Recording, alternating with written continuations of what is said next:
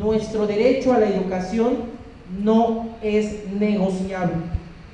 Por esto, y con la enorme responsabilidad que implica ser representantes estudiantiles, hemos decidido convocar a una marcha a todos los estudiantes de la UAM, marcha que busca darle la voz a las exigencias estudiantiles, más allá de agendas políticas o de posiciones ideológicas, los universitarios pedimos respeto a nuestro derecho constitucional a la educación.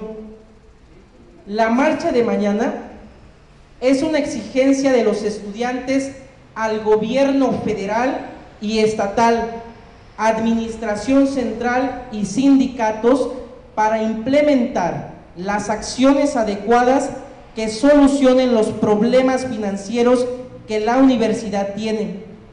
Tenemos que realizar las acciones que verdaderamente solucionen el problema, no solamente en este año o del siguiente, sino de todos los venideros. Los estudiantes ya no cargaremos con los fantasmas de huelgas o paros de cada fin de año.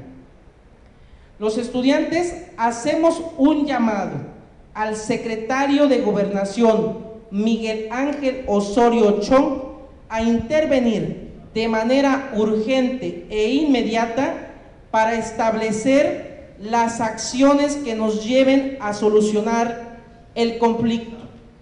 Esta comisión reconoce en el secretario de Gobernación su participación en temas estudiantiles de diferentes universidades, como el Politécnico Nacional, la Universidad Autónoma Veracruzana, así como las autónomas de Hidalgo y Guadalajara,